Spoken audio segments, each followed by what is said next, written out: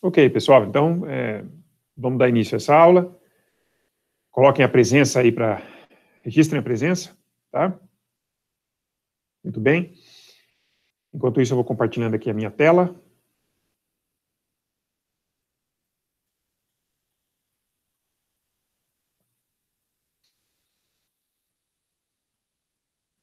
Espero que todos estejam vendo a minha tela.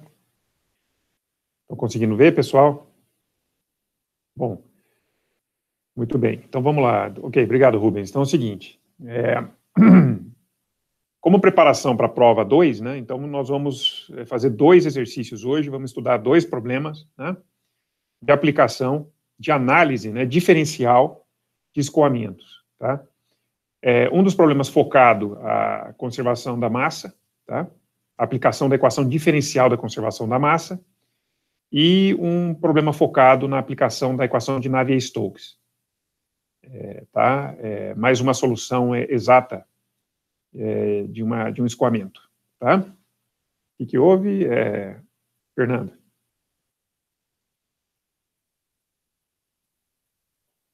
Problema no dia da prova. A prova é feita no horário de aula, tá? Seminário FAPESP. O que, que seria um seminário FAPESP? O que é isso?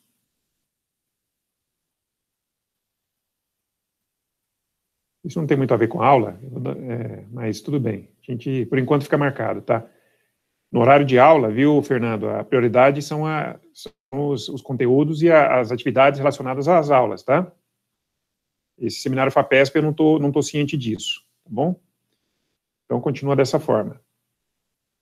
Pessoal, é, a gente pode tentar discutir isso depois, tá? Mas eu gostaria de saber que história é essa de seminário FAPESP, tá? É... Você não está conseguindo ouvir o que eu digo, Maurício? Hum. Vou colocar aqui no... Vou colocar aqui no, no, no nosso chat, tá?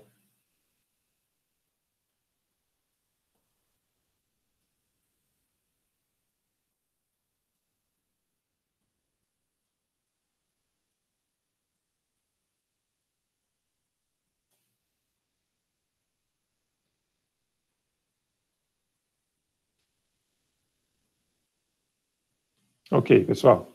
Então é, é o seguinte. Agora sim, vamos, vamos voltar para a aula, tá bom?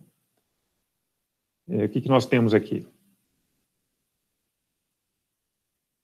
Vamos, como eu prometi, resolver dois problemas hoje, um problema de conservação da, da massa e um problema de resolução da equação de Navier-Stokes, né? Bom, vamos, vamos tentar estudar esse problema aqui, detalhes, tá? Por favor, me interrompam se tiver alguma dúvida. Vamos tentar entender direitinho como é que funciona essa questão do. Deixa eu até colocar aqui prontidão. Deixa eu ocultar isso aqui. Caso vocês queiram se comunicar. Opa, tá, tá uma bagunça isso aqui. Vamos.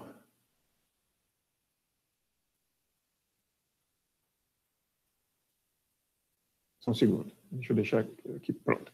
Então é o seguinte, nós vamos o primeiro problema que nós vamos estudar é o problema de aplicação da equação diferencial da conservação da massa, né, para escoamento incompressível. Né, é, eu tenho a impressão que, que todos vocês é, já têm é, plena noção, né, do que, que é, é como é o formato, né, da equação diferencial da conservação da, da massa é, para um escoamento incompressível, né. Mas, de qualquer forma, eu vou, vou colocar ela aqui, né, rapidamente.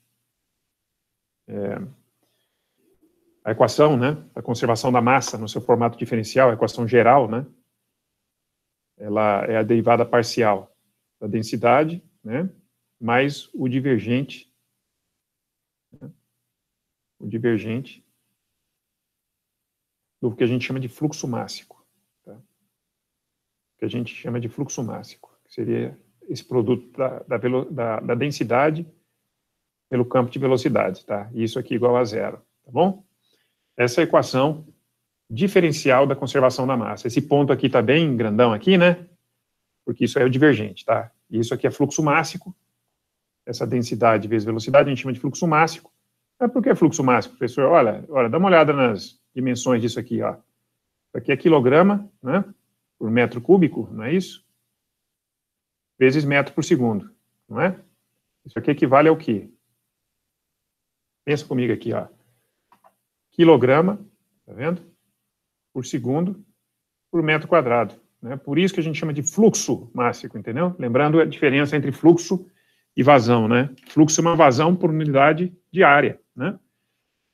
Então, é, essa equação é, diferencial da conservação da massa. Agora, eu, eu digo para vocês, imagine que o escoamento seja incompressível. Digamos que o escoamento seja incompressível. O que, que significa isso? Ora, significa que é, uma das formas de a gente expressar essa característica desse escoamento é que a densidade, né, em qualquer ponto do meu campo euleriano, ela seria uma constante, né? A minha densidade seria uma constante. Né? A derivada no tempo de uma constante é igual a zero, né? Certo? Igual a zero, beleza? Outra coisa, se a, a densidade é uma constante, eu posso muito bem retirá-la do divergente e cortar dos dois lados da, né, da, da equação. Eu tenho finalmente, então, que a equação diferencial da conservação da massa, tá? para um escoamento incompressível, é essa daqui. Tá? Simplesmente o divergente do campo de velocidades, que é igual a zero, e essa é a equação. Tá, então é essa equação, essa equação é para escoamento incompressível, o divergente do campo de velocidades é igual a zero, que nós vamos aplicar nesse exercício a gente, que eu selecionei para vocês hoje. Tá? Ok? Alguma dúvida? Gostaria de comentar alguma coisa? Antes, senão vou prosseguir. Tá? Que bom, não tenho nenhuma dúvida, vamos em frente. Então, nesse exercício, o que, que nós temos? Ó? temos um escoamento que ocorre da esquerda para a direita. É, é um escoamento é, em torno de um aerofólio, né, simétrico. O escoamento é a montante, é um escoamento de corrente livre, né? ou seja, temos aqui um perfil uniforme de velocidades, né? a montante. Né? E esse escoamento, ele é um escoamento viscoso, né? é um escoamento viscoso, um escoamento de fluido real, ele é, se desenvolve né? a partir do, do, do, do de, um, de, uma posição imediatamente a montante do, do aerofólio, a partir do ponto de estagnação, né? Você pode entender que aqui na, na, ponta aqui do aerofólio, no ponto de estagnação, a velocidade seria igual a zero, né? A velocidade seria igual a zero. Isso é válido tanto para escoamento é, de fluido real quanto para fluido perfeito. E, pela condição de contorno de não deslizamento da mecânica dos fluidos, a gente tem, portanto, e a velocidade do escoamento da primeira camada de fluido, né, é, é, adjacente à superfície do aerofólio vai ser a própria velocidade do aerofólio, que nesse caso é zero, né? Isso, nós estamos analisando um problema segundo um referencial não inercial, né? Como vocês podem ver, esse é um campo de velocidades relativas. Não sei se alguém. Parece que alguém quer se comunicar, não sei.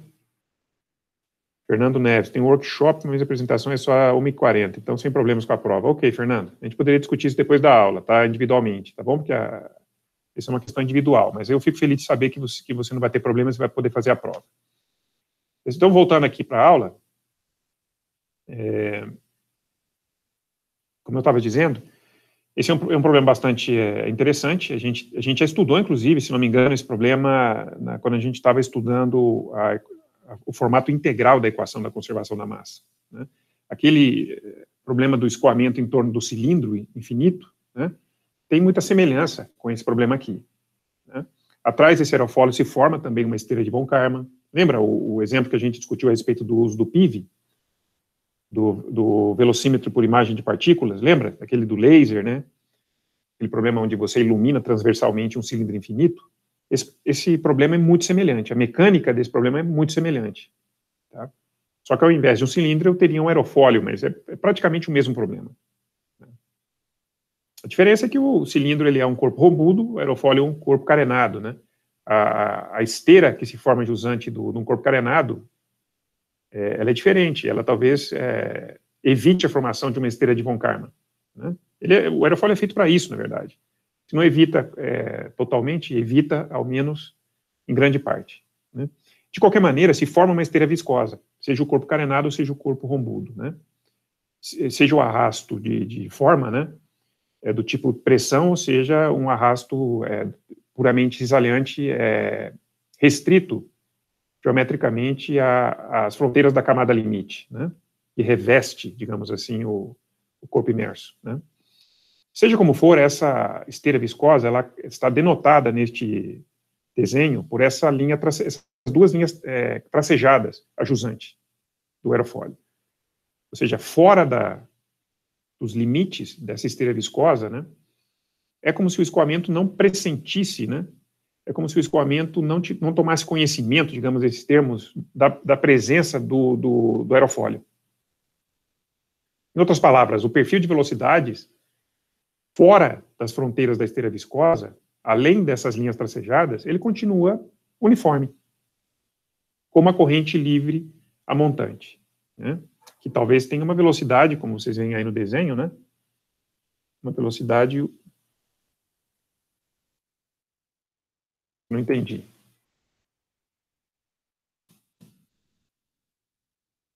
Desculpa aí, pessoal. Isso aí é Agora sim, vamos voltar aqui. Ó. Essa velocidade a, montante né, é a própria velocidade da corrente livre montante denotada aqui como o infinito. Né? E, e, notem que essa velocidade é a mesma, olha. É a mesma fora dos limites da fora dos limites né, da nossa esteira viscosa. Tudo bem? Alguma dúvida? Ok, isso aí é um conceito importante, tá? Que é o conceito dos limites da, da fronteira da esteira viscosa. Tem alguns pontos que estão selecionados aí, que seriam o ponto x1, x2, y1, já vamos entender um pouco melhor para que, que eles vão servir nesse exercício. Então, agora sim, vamos ver, vamos ver o um enunciado. Vamos dar uma lida no enunciado. Ele, primeiro pedido, né? Mostre qualitativamente a variação da velocidade U ao longo da linha de centro, de imediatamente a montante do aerofólio até o infinito, né? Essa questão, né, a, letra, a letra A, ela embute né, um certo, embute, digamos assim, a análise de uma grandeza, né, relacionada inclusive à deformação do, do, de uma partícula de fluido elementar. Essa é, é questão A, ou seja, como que a velocidade U, velocidade U é a velocidade na direção x, né? U é a velocidade na direção x. Então, é, como que essa velocidade U né? Como é que essa velocidade U varia ao longo da linha de centro? Em outras palavras, como é que U varia com x? Está entendendo? Como é que U varia com x? Né? E é, essa variação talvez não seja, talvez não seja constante, talvez ela possa ser é, representada através de um gradiente, né?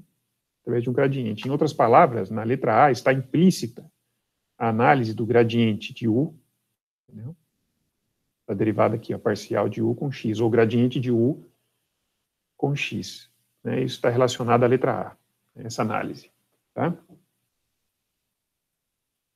Então, a pergunta é essa, como que essa velocidade está variando ao longo da linha de centro com a coordenada X? A velocidade U, a componente do campo de velocidades na direção X. Uhum. Interessante. Ora, pensa comigo aqui, como é que seria o campo de velocidades, ó, imediatamente ajusante do aerofólio? Como é que seria? Ora, condição de contorno de não deslizamento. A velocidade aqui tem que ser zero, ó. Tá vendo? Velocidade no, no, na, linha de, na linha de simetria. Exatamente. Na linha, exatamente, assim, imediatamente ajusante né, do, do aerofólio é zero, tá vendo? A uma certa distância, a uma certa distância ajusante do aerofólio, notem que, que o vetor velocidade já é diferente de zero. Uma distância ainda maior ajusante, notem que a velocidade é ainda maior, entendeu? No infinito, entendeu? No infinito, entendeu? A jusante, o que vai acontecer com o perfil de velocidades? Hum? como é que vocês acham que vai ser o formato do perfil de velocidades quando x tende ao infinito? Quando a coordenada x tende ao infinito? Ora, ele vai voltar a ter esse formato. Entendeu? Então eu pergunto, quanto ao gradiente de velocidades, né, del U, del X, quanto ao gradiente de velocidades? O que, que você me diz? Ele é diferente de zero ou igual a zero? Claramente a velocidade está variando com a coordenada x. É diferente de zero. E segunda pergunta, é positivo esse gradiente ou é negativo? Ele é positivo ou ele é negativo? Né? Ora, a, velocidade, a cada passo positivo na direção x, a gente percebe o quê? Uma variação positiva da velocidade, né? da velocidade é, u. Né? Ou seja, esse para completar o gradiente que é positivo. Certo? Essas são informações importantes que vão nos ajudar a trabalhar com a, que, com a questão 2D, com a letra D, tá? que é a última pergunta desse exercício. Ok? Então, finalizando, né, pra, vamos mostrar qualitativamente essa variação da velocidade U, que é componente da velocidade na direção x, né, do, do vetor velocidade na direção x, ao longo da linha de centro, de imediatamente a montante do aerofólio até o infinito. Né? Então, vamos ver isso. Como é que se daria, né, essa, essa questão. Vamos, para isso, utilizar aqui o, o nosso material.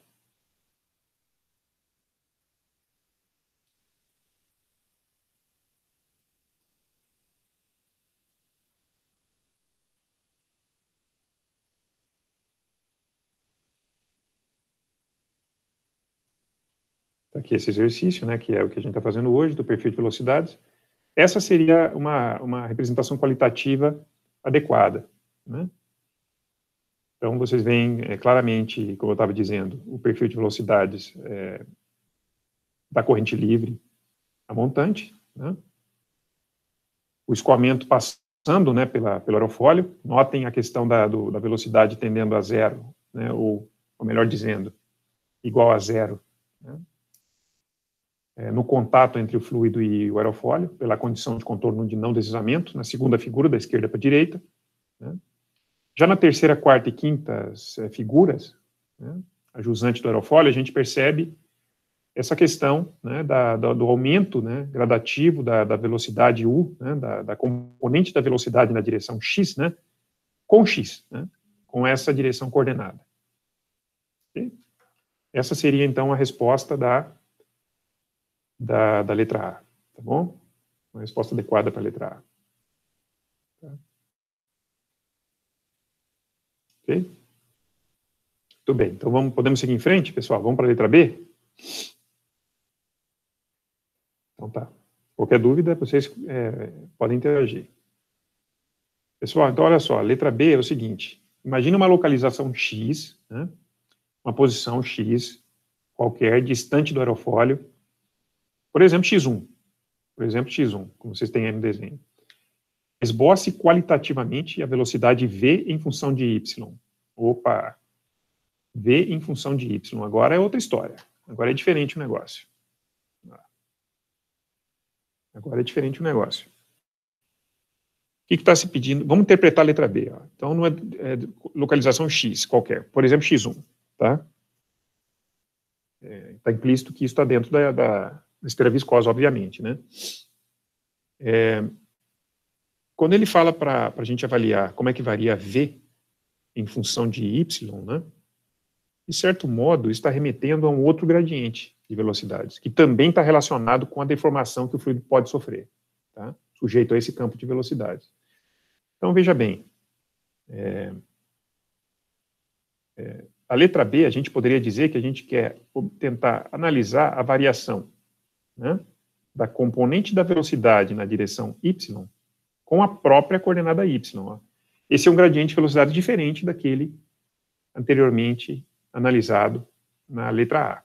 Né. Ele é diferente, obviamente. Agora, é a, a variação da velocidade na direção y, que é v, com a coordenada y. E outra coisa, quanto à coordenada y, notem, percebam que ela começa, né, exatamente na linha de simetria, tá vendo?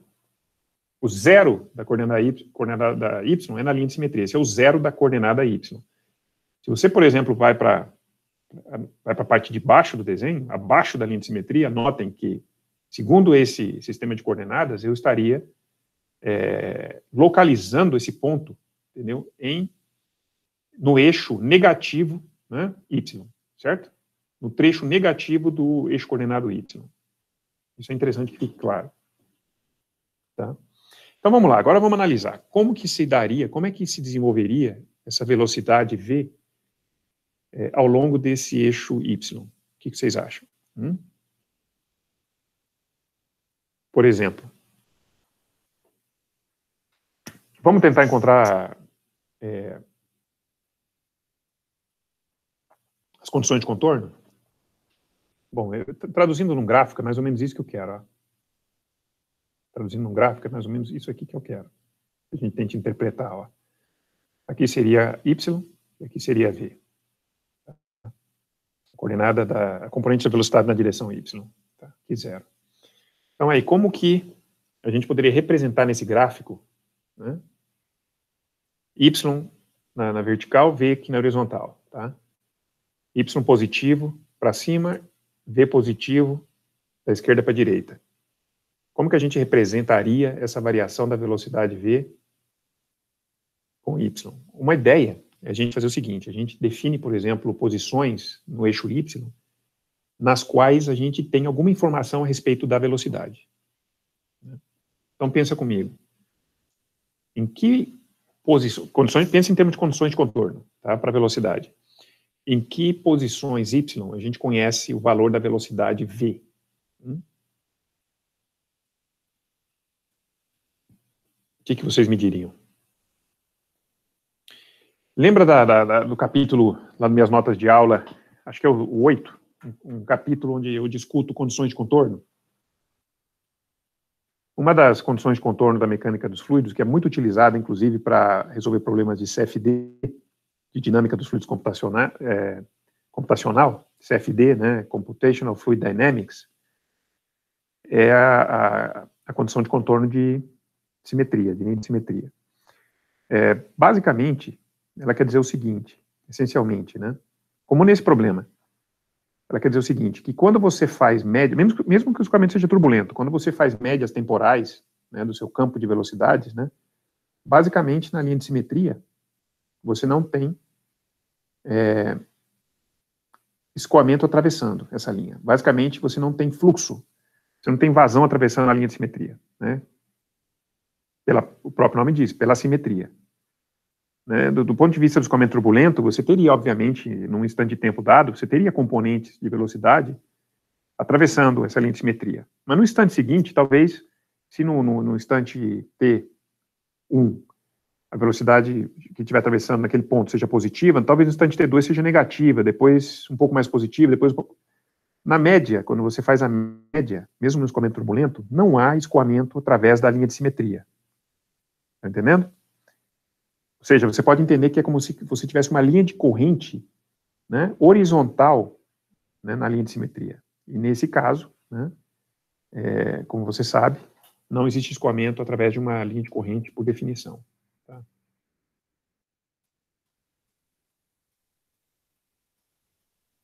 Ok, continuando. Então aí vem a pergunta, né? Afinal, na linha de simetria, se não há velocidade, se não há fluxo de, de massa através da linha de simetria, eu posso dizer, então, que quando y é igual a zero, né, a minha velocidade, olha, quando y é igual a zero, né, a minha velocidade é zero aqui, ó, nesse ponto. Tá entendendo? Esse é um ponto onde eu conheço a velocidade. Tá beleza? Agora pensa, pensa o seguinte, né, começa aqui na em x1, vai avançando aqui, tá, em y, me diz o seguinte, além da velocidade zero na linha de simetria, onde mais haveria um outro ponto, né, em y, onde eu conheceria o valor da velocidade v. Ora, pensa comigo. O que, que eu falei lá atrás? A respeito da fronteira da esteira viscosa. Falei para vocês que a partir da, da, da fronteira da esteira viscosa, entendeu? Além né, o escoamento ele passa a ter exatamente o mesmo, o mesmo padrão do escoamento de corrente livre a montante. É uma, é uma região onde o, o, o escoamento nem percebe a existência do aerofólio imerso, entendeu? Em outras palavras, fora da esteira viscosa, né, os vetores velocidade, eles estão novamente alinhados com, com a, a, a, linha de simetria, ou seja, são todos horizontais. Em outras palavras, além da fronteira da esteira viscosa, entendeu? Só existe componente da velocidade na direção x, entendeu? Só existe u. Em outras palavras, né, na fronteira da esteira viscosa, a velocidade é zero novamente.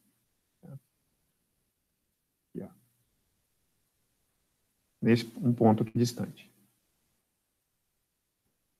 Tá? Então, já descobrimos dois pontos, né, onde eu conheço o valor da velocidade v no eixo y, né? Dois pontos, linha de simetria e fronteira da esteira viscosa. E nesses dois pontos, a velocidade é zero, a velocidade v é zero. Tá? Aqui no desenho, seriam esses dois pontos, né? Seria aqui né, e aqui seja, nesses dois pontos aqui no desenho. É, realmente não está tão fácil usar essa caneta quanto eu esperava, tá? E a velocidade é zero aqui nesse ponto.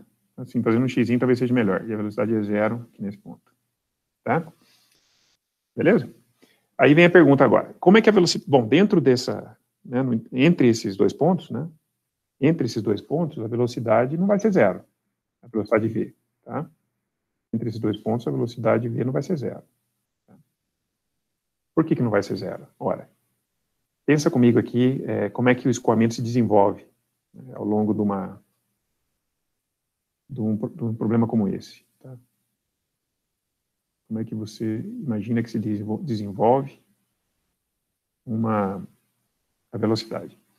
É, uma linha de corrente, né, ela vem aqui paralela à linha de simetria, entendeu? Até o aerofólio. Depois ela, ela, ela sai, ela, ela, dá licença, né, porque ela tem que passar né, pelo aerofólio, depois ela começa a retornar. Ela começa a retornar. O que a gente percebe? Em qualquer ponto que você escolher, né, dentro dessa esteira viscosa, né, aqui é uma linha de corrente, ó, tá vendo? Você tem aqui o, o seu vetor velocidade, né, que vai ser tangente a vai ser tangente a, a linha de corrente, entendeu? E vai ter um componente de velocidade né, na direção y e outro componente na direção x. Entendeu? Mesma coisa aqui, porque esse escoamento é simétrico, né? Mesma coisa aqui na parte de baixo, entendeu? Então, qualquer vetor velocidade que você pegar aqui, vai ter um componente na direção y e um componente na direção x, entendeu? Isso aqui seria velocidade, simplesmente velocidade, né? O vetor velocidade, aqui você tem v, aqui você tem u, entendeu? Então, essas linhas de corrente, na verdade, notem que elas, elas têm uma certa curvatura, né? Elas têm uma certa curvatura nessa região da esteira viscosa, entendeu? Elas têm uma curvatura aqui, ó. Entende? Em cima elas estão, tem uma tendência de descida, embaixo elas têm uma tendência de subida. Né? Então, se a, a, a, linha de corrente ela não é, é digamos, paralela à linha de simetria, como ocorre fora da esteira viscosa, fora da esteira viscosa elas são paralelas, tá vendo? fora da esteira viscosa, são paralelas. Mas não dentro. Então, o que, que significa isso? Significa que existe, sim, componente da velocidade na direção y diferente de zero. V seria diferente de zero. Certo? Agora, a outra pergunta é, para y positivo, para y positivo, essa velocidade V, entre a linha de simetria e a fronteira da esteira viscosa seria positiva ou negativa? V, a componente da velocidade na direção y, ela seria positiva ou negativa numa região para y positivo entre os dois pontos, ou seja, limites, linha de simetria e fronteira da esteira viscosa, que é a linha tracejada. Não é. Se a minha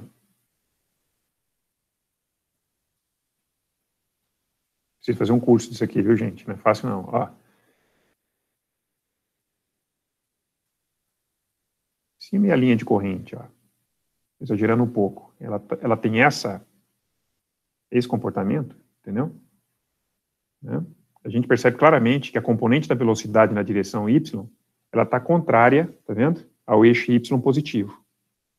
Para y positivo, ou seja, quando o meu eixo y, quando eu estou no meu eixo, na região positiva do meu eixo y, né, eu percebo que a componente y da velocidade, né, v, é contrária ao eixo y positivo. Em outras palavras, ela é negativa, entendeu? Já na, na região do eixo y negativa, entendeu? Notem que a componente da velocidade v, né, na direção y, ela está, olha, de baixo para cima. No mesmo sentido do eixo y positivo. Embaixo ela, ela é, é positiva. Então, em outras palavras, na região aqui acima,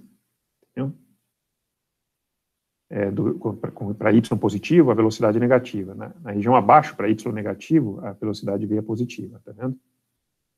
Tá vendo aqui no gráfico? Entende?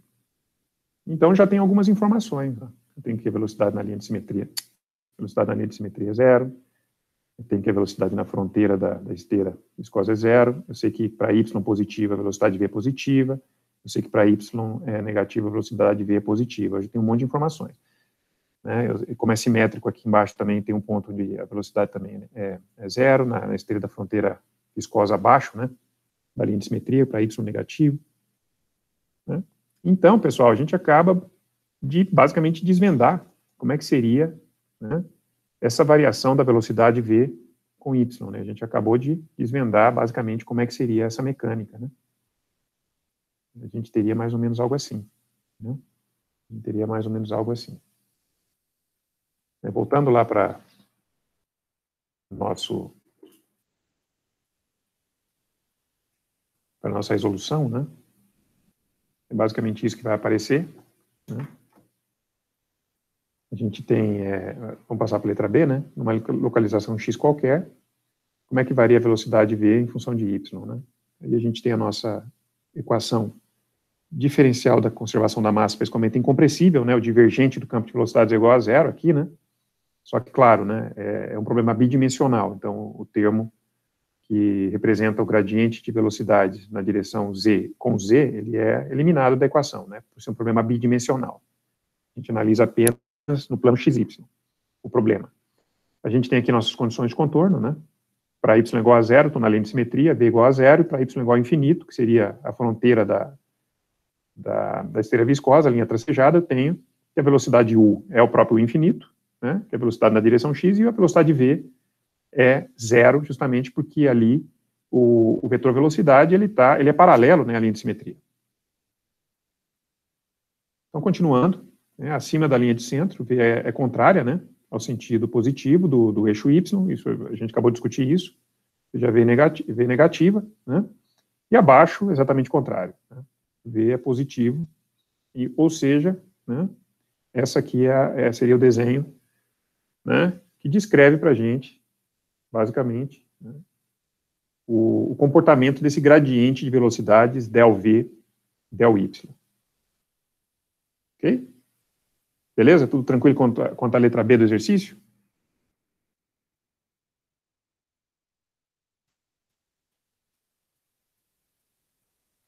Você não ouviu o que querem dizer linhas tracejadas, é, Rubens? As linhas tracejadas são a linha de simetria.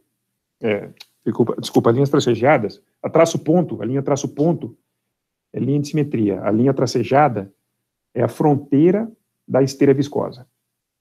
Bom? Isso mesmo, John Raio, exatamente.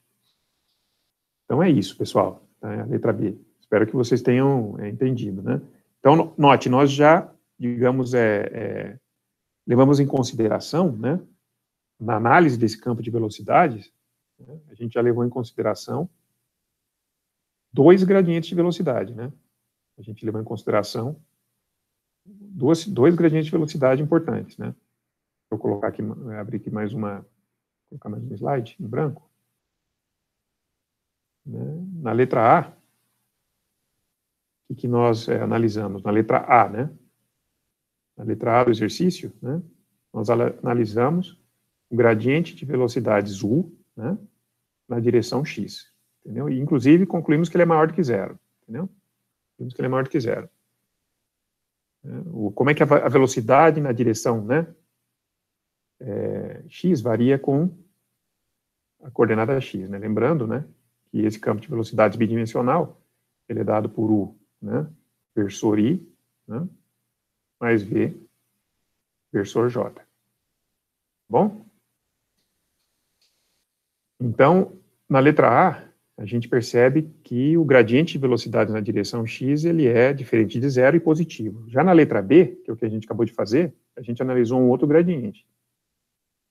É o gradiente da, da velocidade na direção y, né? Que é v, com a própria coordenada y. Agora vem a pergunta, ele, esse gradiente seria positivo, seria negativo, seria zero? Onde, se for zero, onde que ele vai ser zero? O que, que vocês acham? Ora, pensa, vamos pensar aqui juntos.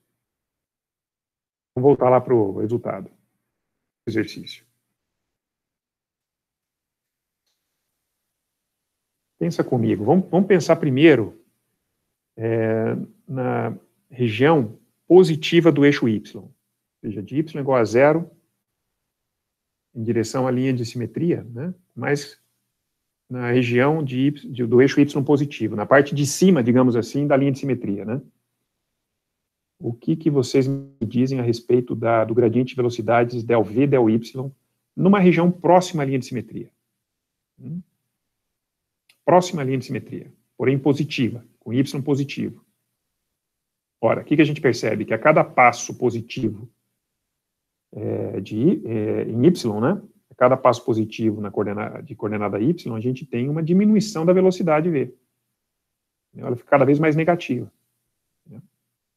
Em outras palavras, numa região próxima à, à linha de simetria e ainda acima dela, né, da linha de simetria, a gente tem um gradiente de velocidades ΔV, ΔY negativo, entendeu? Esse gradiente de velocidades, olha, esse gradiente de velocidades, eu não sei se vocês estão conseguindo ver meu cursor aqui, ó. Aqui, nessa região aqui, ele é um, ele é um gradiente negativo.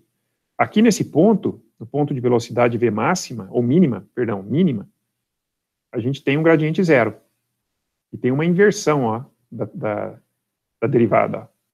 Tem uma inversão derivada. Nessa região, ou seja, agora na proximidade da linha de simetria, entendeu? O gradiente de velocidades ele passa a ser positivo. Ele inverte seu sinal, entendeu?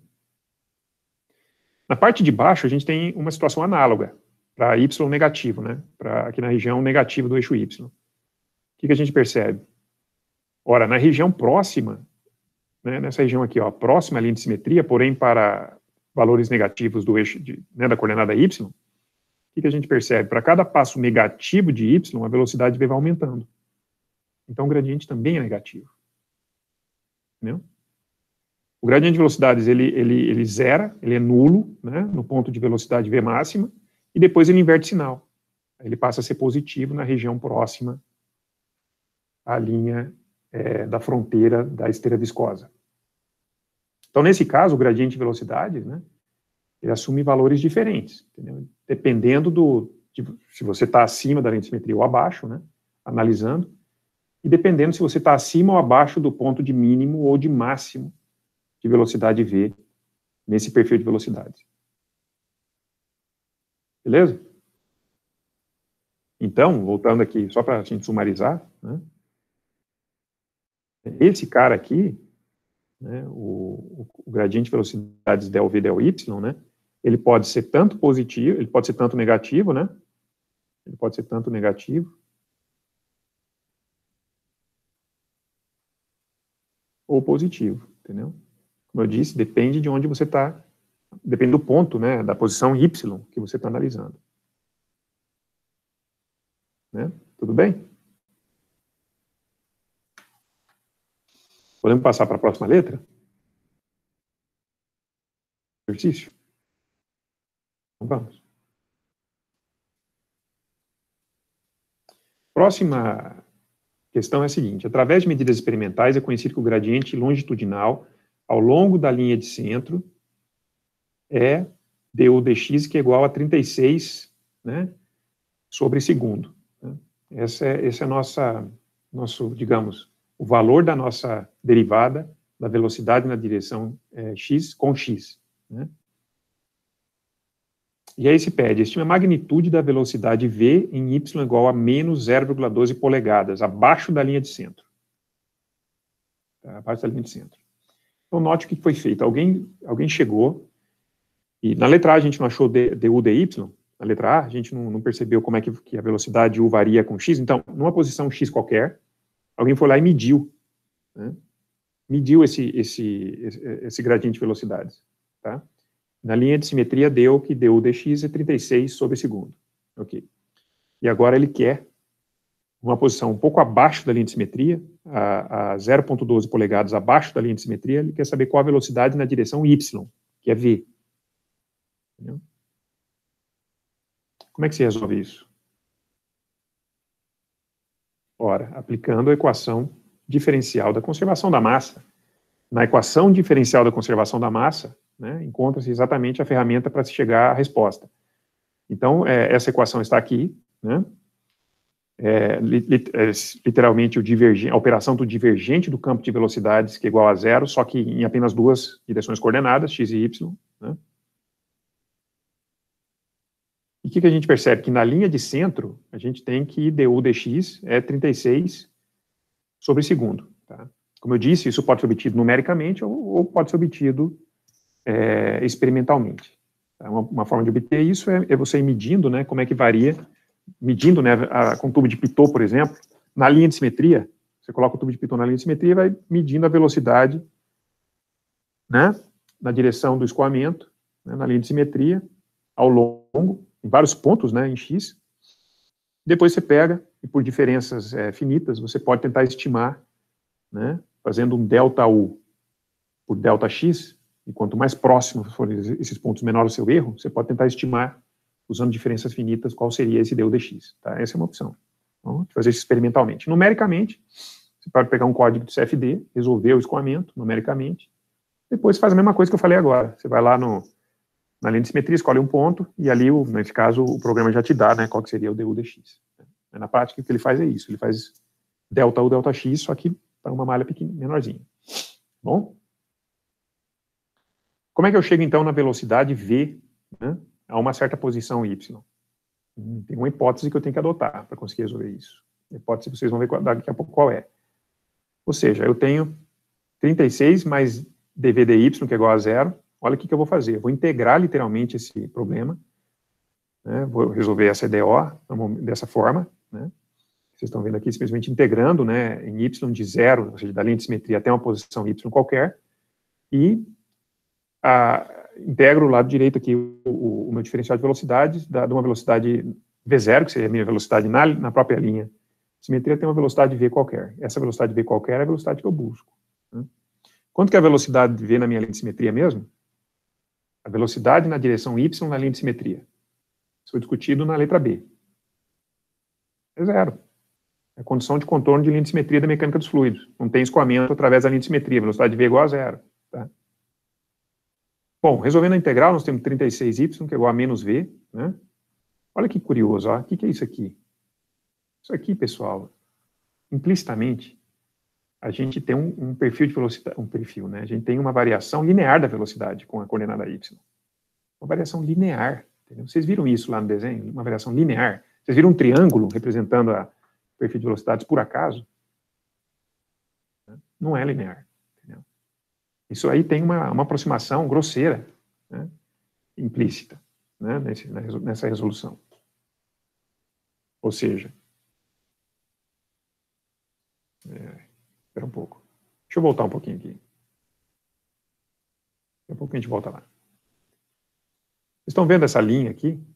Essa linha, essa linha pontilhada aqui? Ó? Essa seria, esse seria o perfil de velocidade linear, tá? Corresponde a maneira como está sendo resolvido o exercício, é, a letra C do exercício, entendeu?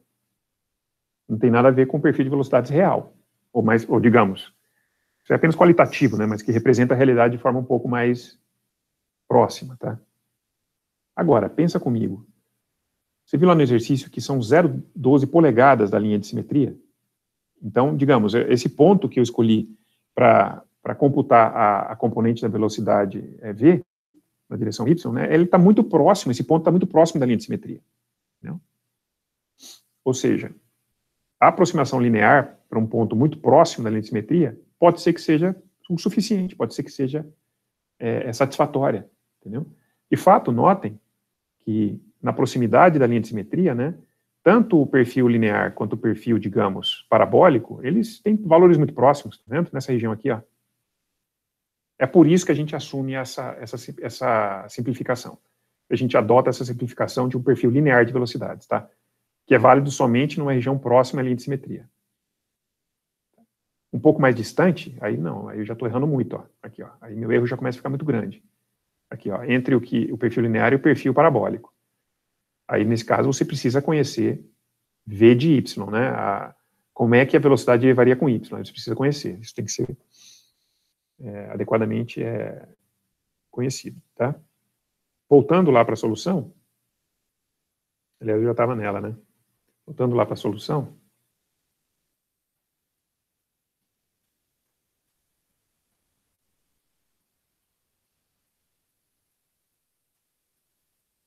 Se a gente admite, então, que a gente tem um perfil linear de velocidades, que é uma, uma baita simplificação, a gente tem, então, apenas o trabalho de substituir, onde tem é, é y o menos 12 polegadas, né?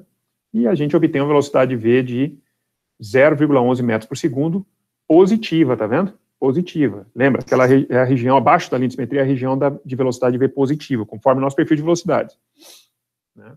Então, essa foi a maneira que a gente encontrou para calcular essa velocidade v né, numa posição y negativa de 0,12 polegadas. Falta agora a letra D. Falta a letra D agora, a última letra aqui. Ó. O que, que se pede na letra D?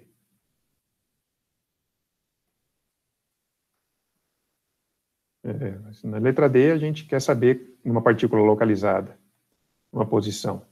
Só um segundo aqui.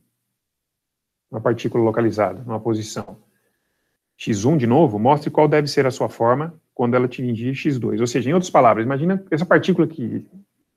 Partícula aí se refere a uma, por exemplo, a um elemento diferencial de fluido. Por exemplo, um elemento retangular, quadrado, que seja. Tá? Imagina que você tem em x1 um elemento diferencial de fluido que tem uma seção quadrada, entendeu? Como que esse elemento, qual, qual vai ser a forma desse elemento quando ele atingir x2? um ponto na linha de simetria é jusante. Então pensa comigo. Pensa comigo. A gente está falando de gradiente de velocidade, né? Quando você estudar a dedução da equação de Navier-Stokes, você deve ter percebido né, que o tensor das tensões ele é linearmente relacionado ao tensor taxa de deformação. Em outras palavras, quando um fluido ele está sujeito né, a um campo de tensões, ele sofre deformações dilatação volumétrica, né? ele sofre é, é, rotação, ele sofre deformação angular, né? e essas deformações todas, né? a partir da dedução das equações constitutivas, a partir do trabalho de Stokes, né? essas é, deformações elas estão relacionadas a gradientes de velocidade. Então, note que na mecânica dos fluidos não são as velocidades, mas os gradientes de velocidades que são responsáveis pela deformação do fluido. Entendeu? Então, o que, que acontece? Para a gente resolver a, letra, a letra C, para a gente resolver a letra C, é interessante que a gente perceba que além desses dois gradientes de velocidade que a gente já estudou, o del U, del X e o del V, del Y, letras A e B respectivamente, tem um outro, né, que na verdade a gente, ele estava evidente lá na letra A. Na verdade ele estava evidente lá na letra A, que é esse daqui, ó o U, é o Y, entendeu? É o U, é o Y. Como que a velocidade na direção x varia com a coordenada y? Agora é um gradiente cruzado que a gente fala. Né? É um gradiente cruzado. É o único dos três que é um gradiente é, cruzado. Ou seja, é, u, é, u, é velocidade na direção x com a coordenada y. Diferentemente dos outros dois, né? Que aparecem na letra A e B. E pergunto mais, né? A gente tem aqui a linha de simetria. Né? A gente tem aqui a simetria, por exemplo. Como é que é mesmo o perfil de velocidades? A gente viu que ele tem mais ou menos esse formato aqui assim, ó. Entendeu? Tá entendendo? Ou seja, a velocidade U na direção Y está sempre aumentando, entendeu? Então, além de ser diferente de zero, ele também é positivo. Certo? Lembrando que aqui a posição, aqui é a coordenada x e aqui é a coordenada y, tá? Componente da velocidade x é u, componente da velocidade y é v. Em y é v, certo? E, obviamente, esse gradiente de velocidades também está relacionado né, a um tipo de deformação que o fluido vai sofrer. Na letra A, esse, se você se lembra da dedução da equação de Navier-Stokes, esse gradiente de velocidades é, é du, du, dx, ele está relacionado ao quê? A uma deformação linear na direção x. O del v, del y, esse aqui está relacionado a uma deformação linear na direção y, entendeu?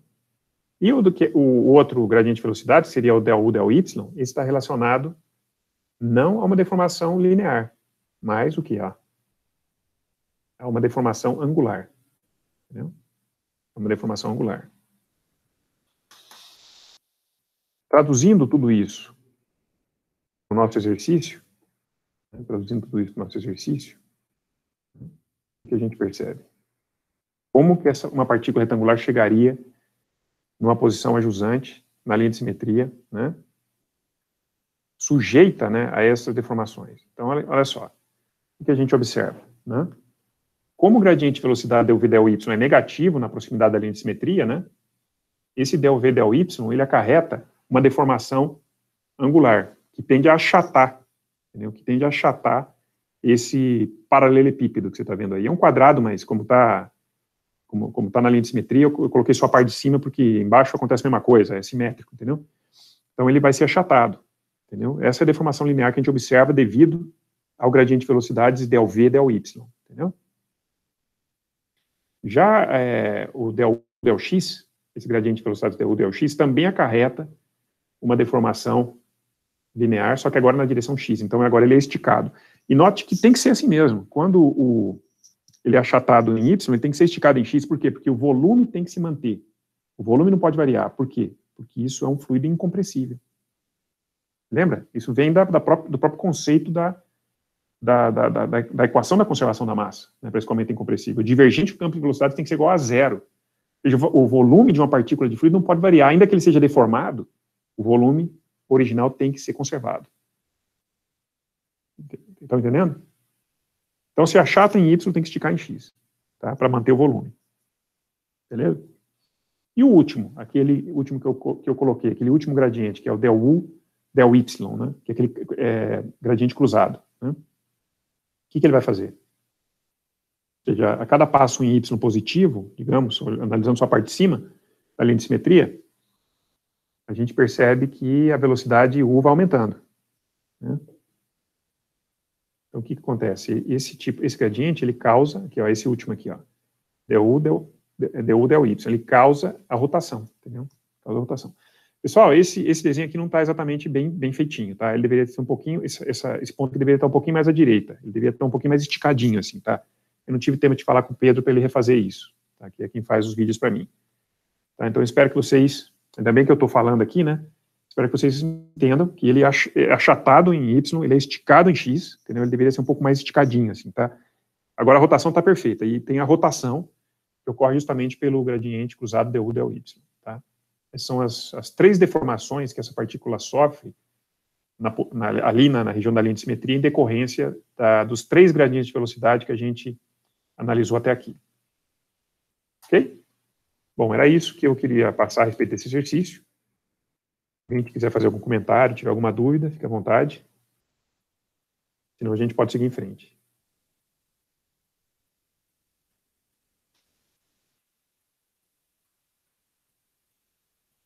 Se não há dúvidas, eu fico, então, é, é tranquilo para a gente seguir em frente. Tá? Bom, próximo ponto que eu queria estudar com vocês é. Alguma dúvida, Luiz Guilherme? Ah, tem algumas dúvidas aqui, agora eu, desculpa que eu não tinha visto.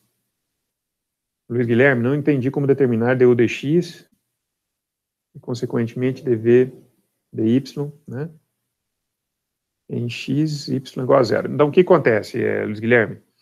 O cara, você deve estar falando a respeito da letra B, né? É, a respeito da letra C. É, peraí, agora eu também não decorei, pera lá. Deixa eu voltar lá no exercício.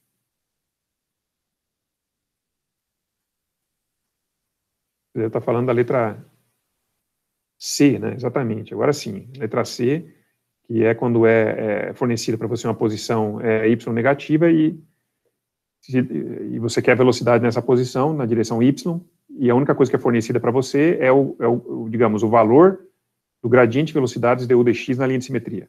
Né? Seria a letra C. Espero que seja essa a sua pergunta. Então, Luiz Guilherme, explica então um pouco melhor a sua pergunta.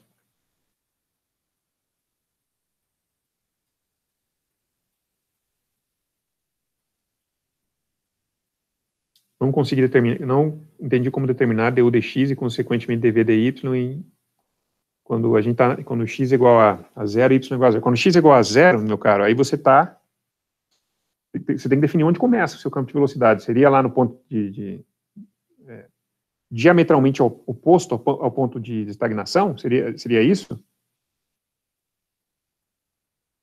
Ah, dv dy y igual a zero, tá. Ora, isso vem do conceito de linha de simetria. O conceito é, da condição, condição de contorno de linha de simetria. Como o escoamento ele é simétrico, entendeu? Nessa linha, pensa comigo. Como ele é simétrico, se você tivesse uma linha de corrente ali no centro, ali na linha de simetria, passando pela linha de simetria, você concorda comigo que essa linha de corrente ela seria horizontal, perfeitamente horizontal, na linha de simetria? Concorda com isso?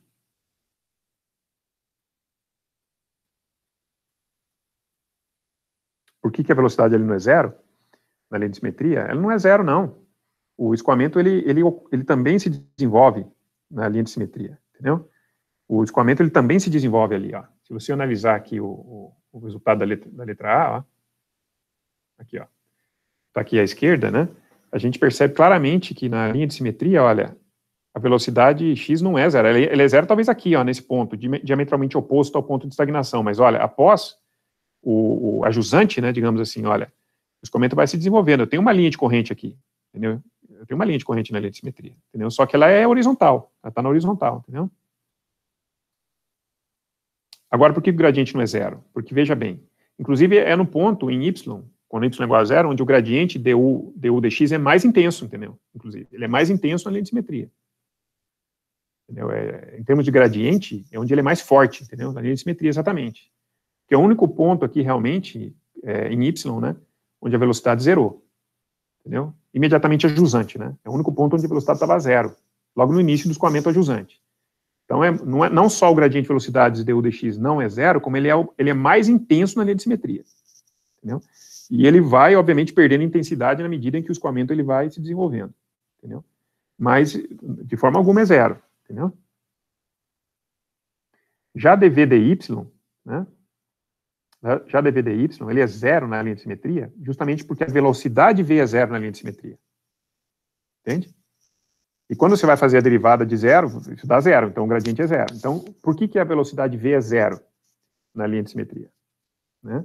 Pela condição de contorno de linha de simetria que eu acabei de dizer. Ou seja, ali na linha de simetria, a linha de corrente ela passa a ser horizontal. Não tem mais componente da velocidade v na linha de simetria. Não tem, não tem escoamento atravessando a linha de simetria. Não tem como o escoamento atravessar uma linha de corrente, entendeu? Então, a, a velocidade V passa a ser zero nessa linha de simetria, consequentemente, o gradiente de velocidades dv dy. Ou seja, quando y é igual a zero, a velocidade V é zero. Então, o gradiente nesse ponto, consequentemente, do ponto de vista matemático, tem que ser zero, entendeu? É, né, o que pode ser claramente graficado, né, é, dessa forma aqui. Né? seja, note que a velocidade V é zero quando y é igual a zero, entendeu? Consequentemente, o gradiente também tem que ser. Eu não sei se está claro, mas o desenho não é muito bom, mas o desenho ele faz assim, ó. Não sei se você está percebendo. Ele vem aqui, ele chega na velocidade máxima, depois ele vai fazendo assim, depois ele fica vertical de novo na. Esse desenho não é muito bom nesse aspecto. ele fica de novo vertical, assim, ó. Ali no, no ponto de y igual a zero, entendeu? Depois ele começa a se, se desenvolver de novo. É um perfil de velocidades que, que, não é exatamente do jeito que está desenhado aí. Esse é um esboço grosseiro, tá?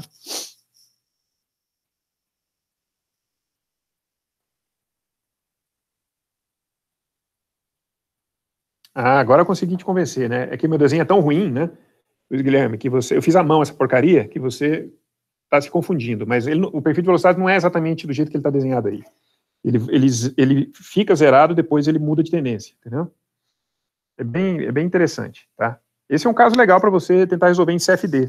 Um, qualquer código aí da computacional do CFD resolve esse, esse probleminha com facilidade. E aí você pode, inclusive, produzir esse gráfico através do CFD e, e, e tirar suas dúvidas, com certeza. Tá? Exatamente, dv dy é igual a zero quando o y é igual a zero. Tá bom? Eu prometo que para o próximo ano eu tento fazer um desenho melhor para esse, esse perfil. Tá? É, ele é parecido com, olha só que interessante, ele é parecido com a maneira como ele, olha só meu cursor aqui, ó. Ele é parecido com essa região aqui, ó. Tá vendo? Ele vai indo pro, tá vendo? Ele vai indo pro, pro vertical aqui, ó. Aqui deveria ser assim também. Entendeu? Aqui deveria ser assim também. Como medir o DVDY experimentalmente? É mais ou menos da mesma forma como eu expliquei a maneira de medir o DU-DX, entendeu? Você pega um tubo de Pitot, só que ao invés de ele estar tá, é, nessa direção, digamos que o escoamento principal esteja aqui nessa direção, você rebate ele 90 graus aqui, o tubo de Pitot, entendeu? E aí você tenta você, você vai fazendo a varredura, né, da velocidade na direção y, entendeu? Tá? Essa é uma forma de fazer. Tá? Tem, é, é, é usando o PIV, por exemplo, o PIV, que eu mostrei para vocês naquele, naquela outra aula, é mais fácil ainda, né? Você levanta todo o campo de velocidades, depois na sua, com o MATLAB, você isola ali o, o a velocidade V, né? É, média no tempo, né? Depois você fazer todas as médias temporais, aí você pega a velocidade V num ponto em x qualquer, e vai computando como é que essa velocidade V variou ao longo de y, entendeu? Aí o que, que você faz? Por diferenças finitas, você pega, por exemplo, bem próximo, né? No caso do PIV, a distância entre as janelas de observação é realmente pequenininha. Você faz ali um delta y, um delta, desculpa, um delta v, delta y, entendeu? Através de diferenças finitas, você estima esse gradiente em, em qualquer posição, né? Y, tá? Luiz Guilherme.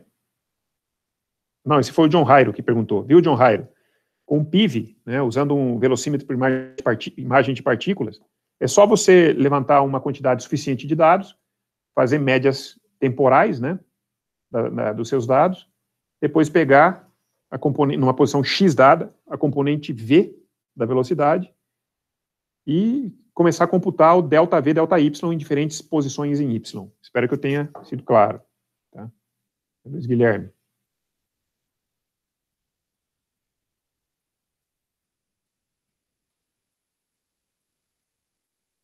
A letra D, a última, né, da deformação, né? O que, que você não entendeu? Eu já falei que o desenho não tá, não tá legal, né?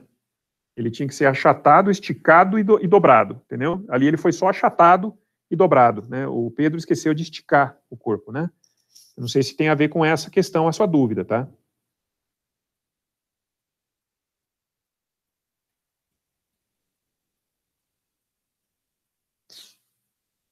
A taxa de deformação angular, né?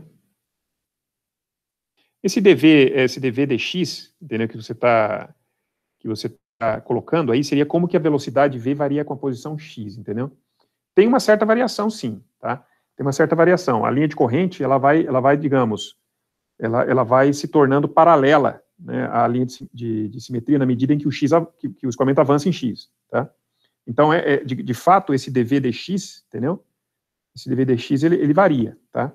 Só que ele não varia com a mesma intensidade que, deu, que deu o dy, entendeu? De forma alguma, entendeu? De forma alguma. Assim, se você comparar os dois gradientes, du dx com dv dx, dv dx ele é desprezível, entendeu? Isso explica por que, eu não considerei o, o, o dv dx, viu, Luiz, Guilherme? Não é que o dv dx não é zero. É, não é que o dv dx ele é diferente de zero, entendeu? Mas ele é muito menos intenso que o du dy. Por isso eu, eu acabei optando né, nesse exercício a não levar ele em consideração. Tá? É por uma questão de análise de ordem de grandeza. Tá bom, é, Luiz Guilherme? Aí o Rubens perguntou outra coisa. Então, esse DVDY, viu, é, o Rubens perguntou agora, né? Esse dVdy, você, você entendeu que ele é negativo, né?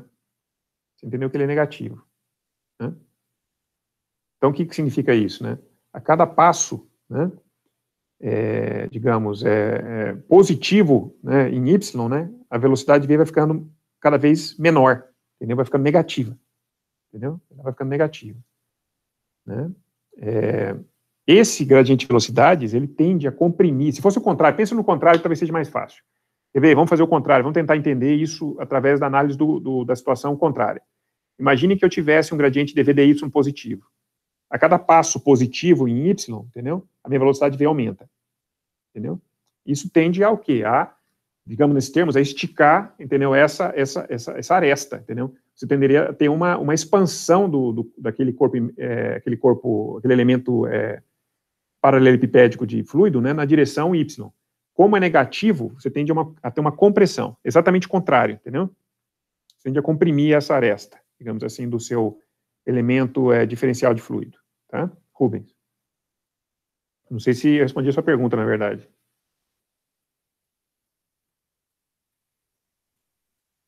Então, Luiz Guilherme, taxa de formação angular, né? du dy é igual a zero, né? Não, du dy não é igual a zero. É, na, linha de, na linha de simetria, é, o que é du dy? Tem, tem que pegar a velocidade quando y é igual a zero, e depois o próximo ponto em, quando y tem um, tá, né, tem um valor diferente de zero. É, isso aí, você tem um gradiente aí. Não é zero. Né? O du dy não é zero, não. É, é, o que é zero é o dv dy lá. É, não, não confunda os gradientes, tá?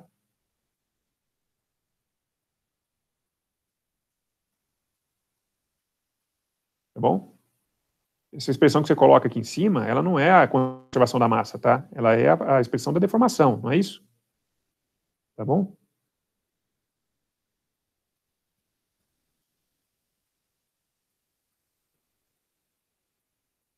Exatamente, se sim, senhor. Tra Transiciona-se de é, entre tração e compressão. Muito bem observado, Rubens. Exatamente. No início, próximo da linha de, de simetria, existe compressão. Após o ponto de velocidade V mínimo, eu estou analisando para y positivo, após o ponto de velocidade V mínimo, né, ali nesse ponto o, d, o dv dy é igual a zero, né, ou seja, você tem um, uma derivada no sentido, ela vai diminuindo, diminuindo, ela zera, depois ela inverte sinal, aí você passa a ter tração. Exatamente, Rubens, bem observado. Luiz Guilherme? Não, o du dy não é zero y igual a zero, na linha de simetria, de jeito nenhum. Entendeu? Não é, não. O du dy não, entendeu? Na linha de simetria. De jeito nenhum, entendeu? E já existe, digamos assim, uma, uma tendência de crescimento da velocidade u na direção y, entendeu? A partir do primeiro ponto em y é, é, é diferente de zero, entendeu? Tanto acima quanto abaixo, né? Bom, isso aí é redundante falar isso que é linha de simetria, mas de forma alguma. É como se você tivesse um perfil para, você pode pensar como se fosse um perfil parabólico de velocidade. Existe uma certa inclinação, entendeu? Existe uma certa inclinação desse perfil entendeu? Logo a partir da linha de simetria, entendeu? E isso vai diminuindo, esse, esse du dy, ele vai diminuindo com y, mas, inclusive, ele é mais intenso ali próximo da, da simetria, tá? Não é zero de jeito nenhum, viu, Luiz Guilherme? O, o du dy. Nem u é zero na linha de simetria e nem o gradiente du dy é zero na linha de simetria, tá? Ok? du dx não é zero na linha de simetria. É, na letra A a gente viu que ele, ele não é zero, né? Isso a gente viu na letra A. E o dv dy também não, entendeu? O du dx, ele, é, é, o gradiente da velocidade u na direção x, ele vai aumentando, ele vai, digamos, ele, ele vai é, é, é, diminuindo ao longo de x, mas não é zero. Que a gente vê isso claramente aqui, ó. Quer ver? Deixa eu colocar aqui de novo aquela resposta, ó, da, da letra A, né? Aqui, ó. Aqui a gente vê claramente, olha, Aqui, por exemplo, o vetor velocidade tem uma certa, uma certa, é, é, um certo valor, indicado pelo comprimento desse vetor, tá? Isso, é, isso aqui é velocidade u. Olha, numa outra posição em x, note que essa velocidade u aumentou, entendeu? Ela aumenta, porque o, o perfil tende a se tornar a jusante é, uniforme novamente, como ele era a montante, na, na corrente livre a montante. Só que isso requer uma certa distância a partir do corpo imerso, a partir do aerofólio. O gradiente vai perdendo intensidade ao longo de x, mas ele não é zero. Ele só vai ser zero quando o perfil de velocidades for esse daqui, ó, a jusante, quando for igual ao perfil da corrente livre montante. Aí o du dx zera. Então, note que na linha de simetria, nem du dx é zero e nem du dy é zero. Tá? Luiz Guilherme.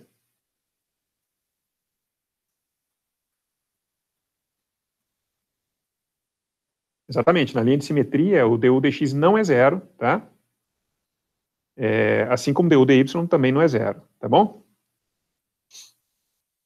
Eu espero que eu tenha conseguido é, responder sua pergunta. Aqui no desenho a gente vê claramente, olha, a velocidade u, quando y é igual a zero, ou seja, a velocidade u, na linha de simetria varia, olha, com x. Em outras palavras, du dx não é zero, entendeu? Tá?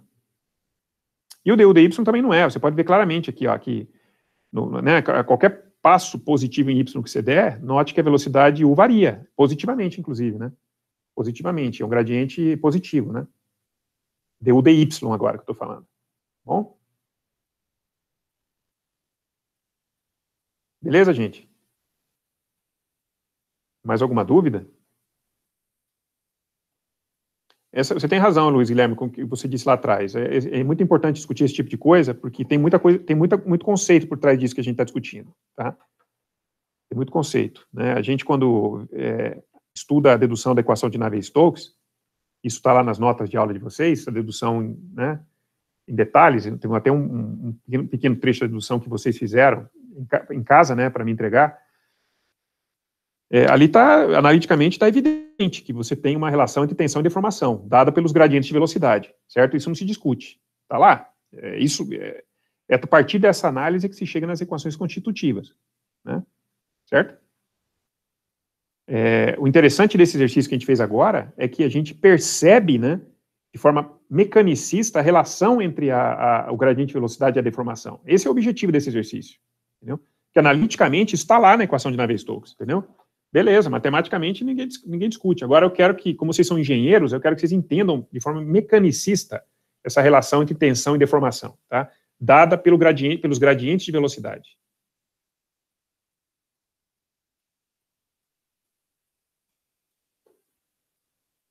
É, eu, eu, eu não sei, é, Luiz Guilherme, o que mais te dizer, porque, veja, eu me sinto frustrado realmente, porque, veja, na linha de simetria, não sei se você percebe, olha, tá vendo esse vazio aqui, ó? Esse vazio de, de, de velocidade, de, de, quantidade de movimento, de, né, ele tem que ser preenchido, né? Isso vai sendo preenchido, realmente é jusante. Então, você perceba que a cada posição em x positiva, digamos que meu delta x seja esse daqui, ó, daqui para cá, entendeu? Entre esse, essa terceira figura e a quarta figura, aqui, né, indo da esquerda para a direita. Espero que você tenha percebido que aqui na linha de simetria, olha, o vetor velocidade u, ele aumentou de tamanho, tá vendo? Ele aumentou de tamanho, não aumentou, olha, do ponto 1 ao ponto 2 aqui, ó. Pega na linha de simetria o comprimento aqui do vetor velocidade, U, ó. Ele aumentou de tamanho, tá vendo? Se houve uma variação, se houve um delta U num delta X, entendeu? Se a, nesse passo positivo em X, na coordenada X, a minha velocidade U variou e ainda por cima positivamente aumentou, eu não só tenho um gradiente du dx diferente de zero, como ainda por cima ele é positivo. Entendeu? Isso é o du dx que eu estou falando. Tá? Agora, se eu analiso agora como é que a velocidade u, que são esses mesmos vetorzinhos aqui que você está tá vendo, que são paralelos à linha de simetria, como é que a velocidade u varia agora com a coordenada y, que é vertical, entendeu? O que a gente percebe? Agora vamos fazer o seguinte, vamos fixar, por exemplo, esse daqui, ó, a terceira figura aqui da esquerda para a direita. y começa aqui na linha de simetria, ele é zero aqui, ó, y começa na linha de simetria. Você concorda comigo que se eu pego o vetor, por exemplo, em y igual a zero, que é na linha de simetria, e pego em y igual a zero mais delta y, que seria o próximo aqui. Ó. Você não concorda comigo que, de novo, o vetor velocidade u aumentou, só que agora com a coordenada y? Então, se a velocidade u variou com a coordenada y, a cada passo positivo de y, a velocidade u varia e ainda positivamente, isso significa que o gradiente de velocidades du dy não só é diferente de zero, como também é positivo. Entendeu? Rubens, se o, se o du dy representa a rotação do elemento, né, como seria o cisalhamento? Então, é, Rubens, se você analisar a equação de Navier-Stokes, você vai perceber que os termos relacionados com deformação, com deformação é, angular, né, digamos assim, eles estão relacionados aos termos viscosos da equação de Navier-Stokes. Ou seja, essas, é, essa, esses gradientes de velocidade, né, por exemplo, du dy, né, esses gradientes de velocidade, onde você tem, digamos, é, lâminas, né, variando na direção y, ou seja, com, com diferente velocidade, note, vamos pensar de forma mecanicista, note que estão relacionados com que tipo de, de esforço? Com, com esforço cisalhante. É diferente dos, esses são os cruzados, os gradientes cruzados de velocidade. Note, por exemplo, as variações lineares, por exemplo, du dx ou, d, ou dv dy. Eles já estão relacionados com esforços normais de compressão ou de tração, entendeu? Agora, esses que a gente observa como, por exemplo, du dy, onde a gente tem camadas, assim, com velocidades diferentes, na mesma direção, isso está relacionado com cisalhamento, entendeu? Isso está explícito na equação de Navier-Stokes. Se você analisar a equação de Navier-Stokes, vai perceber que os termos, os gradientes de velocidades relacionados a deformações angulares ou rotações, rotação não, porque isso é eliminado né, no processo matemático, mas com deformações angulares, você percebe claramente que estão, eles estão lá nos termos viscosos da equação de Navier-Stokes, entendeu? Entendeu? Então, eles estão relacionados ao cisalhamento, em outras palavras, viu, Rubens? O, o de y, se ele é mínimo em y igual a zero, o é, é a componente da velocidade na direção x, né? E é função de y, exatamente, muito bem. Ele é, se ele é mínimo em y igual a zero, ele é mínimo. Ele é mínimo. Assim, se, a cada posição y positiva, ele vai ficando maior. Ele é mínimo, mas não é zero, entendeu? Na, na linha de simetria. Ele é mínimo, mas não é zero. Né? Aqui, ó. Como você pode ver, isso, ele não é zero aqui, ó. Ele tem um certo valor. Quando y é igual a zero, estou na linha de simetria. A linha de simetria é essa que eu estou passando com o meu cursor aqui, ó. Essa é a linha de simetria. Note que o de y é exatamente o que você está vendo aqui. Esse perfil de velocidades é o de y, tá? É o que você colocou aí, Luiz Guilherme. Note que quando y é igual a zero, olha aqui, ó, não é zero, ó. Zero é se não tivesse vetor, se o vetor velocidade fosse zero, entendeu? Se não tivesse vetor aqui, se fosse um ponto aqui, ó, entendeu? Ele não é, ele é diferente de zero, mas é o mínimo. Agora, no próximo passo positivo em y, olha, ou negativo, tanto faz, próximo passo positivo em y, note que ele aumentou. O gradiente, ele tem que ser entendido como uma variação da velocidade, entendeu? Note quando você lança um foguete, não teve agora o lançamento lá da, da, do foguete da SpaceX, por isso que eu vou usar esse exemplo no lançamento de um foguete, agora vamos falar de derivada no tempo. É porque né, nós estamos falando de derivadas no espaço, nesse exercício, mas vamos falar de derivada no tempo, que é uma é coisa que é até mais palpável para a gente. Né? Note que quando o foguete, ele, quando chega a contagem regressiva lá e é zero, vamos dizer assim, vamos dizer assim zero, né? Tá, no começo o foguete ainda está preso lá, mas a partir do momento que solta, que ele é solto, né? Porque ele entra em ignição, ele continua preso, depois ele é solto. Digamos que o meu T0, meu T igual a zero vai ser quando ele é solto. O que, que acontece? a velocidade nesse ponto é zero ainda. Ele, não, ele, exatamente no momento que ele solta, a velocidade é zero. Só que a aceleração não é zero. Entendeu? A velocidade é zero, mas a aceleração não é zero. Porque o que, é aceleração? É a variação da velocidade no tempo. É delta V, delta T. Então, você, quando você faz essa variação, você vai ver, ele, ele tem velocidade zero no, momento que desacopla, assim, para eles começar a subir. A velocidade é zero, mas a aceleração não é, entendeu? Luiz Guilherme, não sei se serviu para ficar mais claro essa observação agora do foguete. Tá?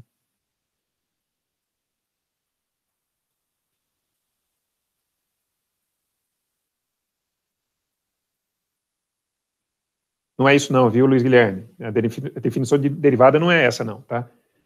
É, você pode, inclusive, é, esse ponto, é, a primeira análise, ou seja, a próxima linha de simetria, onde a derivada é maior, entendeu? Exatamente o contrário do que você falou. Tá? É, você pode ver aqui no perfil que na medida em que y vai aumentando, entendeu?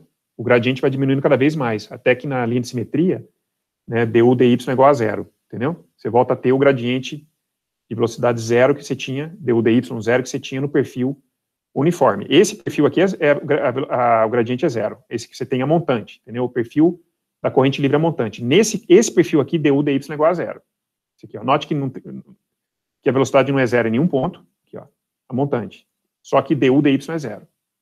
Não tem variação da velocidade u com y, tá vendo? Esse aqui, ó, esse aqui é zero, du dy. Aqui não, aqui ele, ele é mais intenso, inclusive, próximo da linha de simetria, e ele vai perdendo intensidade na medida em que o, o escoamento se aproxima da, da linha, da fronteira da esteira viscosa. Ali du dy zero, de novo, entendeu? Exatamente o contrário do que você falou, tá? Não, nada disso. É, você está confundindo com aquela situação, por exemplo, do, do, perfil parabólico, entendeu? Onde eu tenho uma intensidade muito forte de, de, de assim, penso um perfil parabólico de, de, camada limite, ou então de, do escoamento de Poiseuille, entendeu? Numa, numa, tubulação, entendeu? Onde que a, a, o gradiente de velocidade du dy é mais intenso? É perto da parede, entendeu? Aí, na medida em que ele vai se aproximando do, do centro, né, da, da, linha de centro do tubo, né, ou da fronteira da camada limite, aí note que o du dy vai ficando cada vez menos intenso, menos intenso, até que ele zera, até que ele fica vertical, assim, entendeu? A derivada. Aí zerou o gradiente, entendeu? No caso do tubo, né, isso fica bastante claro. No caso de, de, de é, é, camada limite também, entendeu? Então, note que, no caso da, da, do perfil de velocidades parabólico na tubulação, né, note que o, o, o, gradiente de velocidades, ou cisalhamento, ele é mais forte onde? Na parede, justamente onde o escoamento tem velocidade zero, entendeu? Pela condição de contorno não deslizamento, entendeu?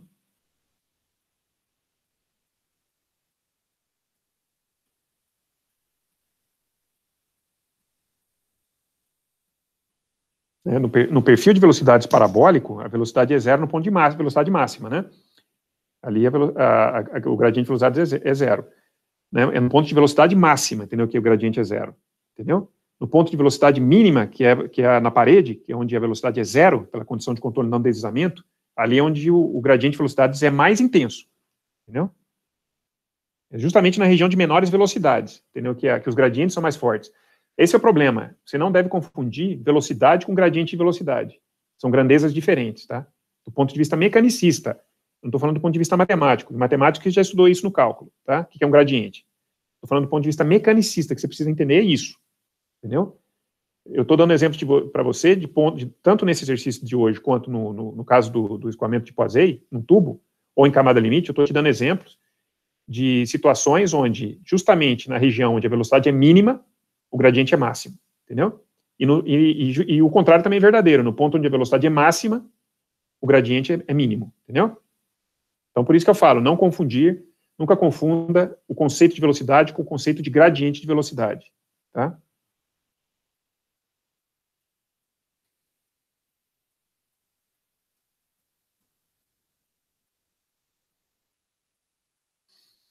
Pessoal, eu acho que já está bom. Eu achei excelente a discussão hoje, acho que foi bastante produtiva e tem muito a ver com o que vai cair na prova realmente, tá? Então foi extremamente pertinente tudo isso que nós discutimos. Tá bom? Eu ia resolver mais um exercício, mas eu vou fazer o seguinte, eu vou fazer diferente. É, eu acho que não há necessidade de fazer, eu acho que a, a, o, o que eu ia fazer, agora eu percebo, depois de toda a discussão, que eu acho que não, tem, não teria muito sentido fazer. E vou te explicar por quê. O que, que eu ia fazer hoje? Eu ia discutir a solução de Poiseuille, entendeu?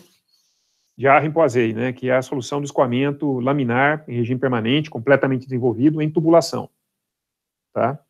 É o escoamento típico que a gente é, estuda sempre num curso de mecânica dos fluidos de graduação, né, o escoamento em tubulação, tá? Completamente desenvolvido. Eu ia, inclusive, mostrar até um filme, é, tá, tá aqui no PG, PGM3, no minuto 9 e segundo 25, seria esse daqui, ó. É, rapidamente, eu posso mostrar isso para vocês rapidamente, na nossa pastinha aqui da, da pós, é 9,25, né? E a...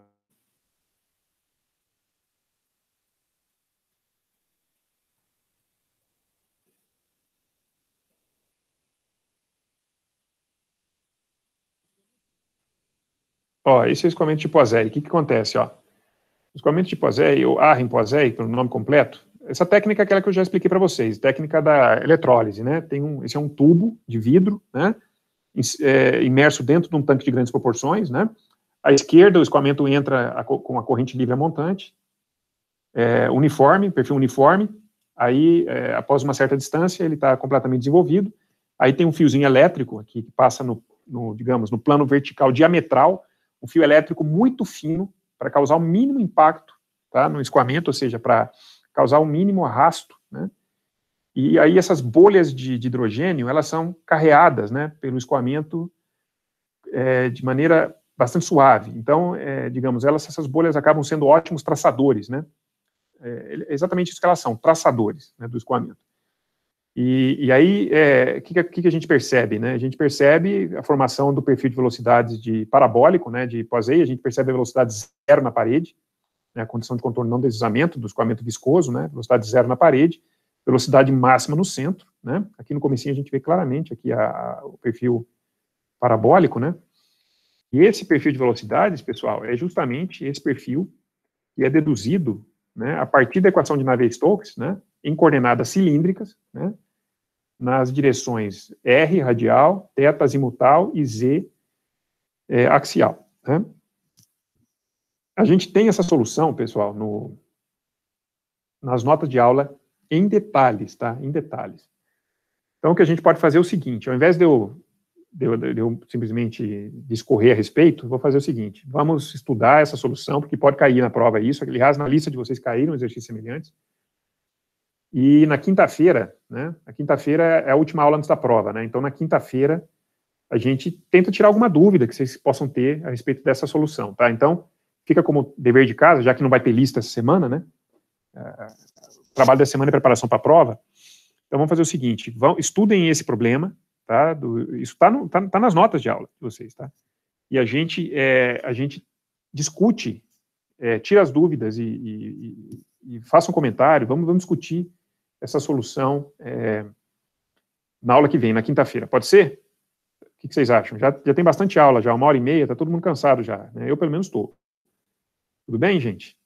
Vocês concordam com essa, essa ideia?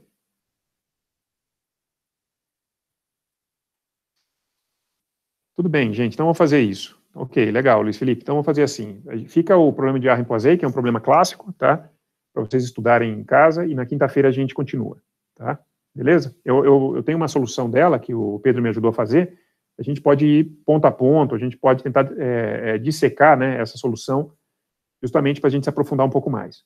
Combinado? Que eu acho que esse é o objetivo de um curso de pós-graduação, tá? Não é, só, não é simplesmente chegar na solução, tá? Que isso está lá na, na, nas notas de aula. Bom, gente, então é isso, eu vou parar por aqui, tá? Bons estudos, né? Tem que pegar firme aí, hein, para sair bem na, na, na segunda prova. Eu Vou tentar entregar antes do final de semana as notas da primeira prova para vocês. Desculpem o um atraso, tá? Bom dia, boa semana para todos.